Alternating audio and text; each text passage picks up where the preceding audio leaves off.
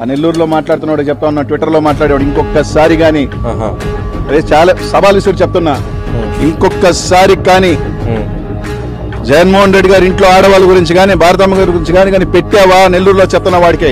Okay. ఏడు అడుగులోడికి. శాశ్వత మంచం మీద పండబెట్టేస్తారు నేను ఓకే. మంచం మీద పండబెట్టేస్తా. ఓకే. ఆ నడువు ఎరగొట్టకపోతే తర్వాత నువ్వు ఈ గాయ. సరే.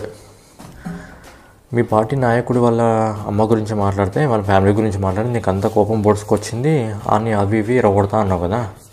మరి మా నాయకుడి వాళ్ళ ఫ్యామిలీ గురించి మాట్లాడినప్పుడు మా నాయకుడి వాళ్ళ అమ్మ గురించి మాట్లాడినప్పుడు మేము నీదేమి రగొట్టాలి మీ పార్టీ వాళ్ళది ఏమి రగొట్టాలి మేము ఏడమండ పెట్టాలి? దానికి కూడా ఆన్సర్ నువ్వే చెప్పాలి అది మేమెందుకు? ఓకే సిద్ధార్థ రెడ్డి అన్న నాకు నచ్చిన యంగ్ అండ్ డైనమిక్ లీడర్. కానీ రాడ్లతో సరా కట్టెలతో సరా చేతులతో సరా ఇట ఇట్లాంటి మాటలన్నీ మాట్లాడుతున్నాడు కదా. ఇట్లా రెచ్చగొట్టే మాటలు మాట్లాడడం వల్ల గ్రామ స్థాయిలో ఒక జనసేన కార్యకర్త పైన దాడి జరిగితే నువ్వు నష్టపోతావా?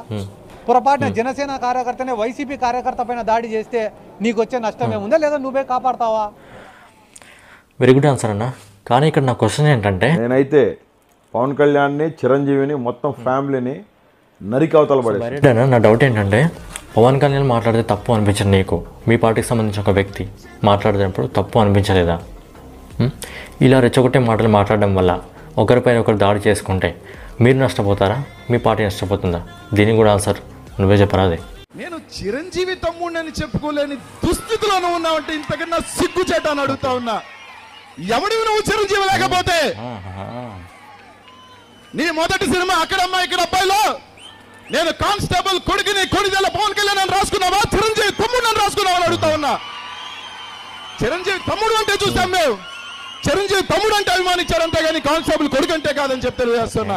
అనిలనా ఎన్ని తెలిసి నువ్వు? ఒక చిన్న లాజిక్ మిస్ అయినా సరే చిరంజీవి గారు లేకపోతే మా నాయకుడు పవన్ కళ్యాణ్ లేడు. మరి వైఎస్ రాజశేఖర రెడ్డి గారు లేకపోతే జగన్మోహన్ రెడ్డి ఏడికి వచ్చాడు?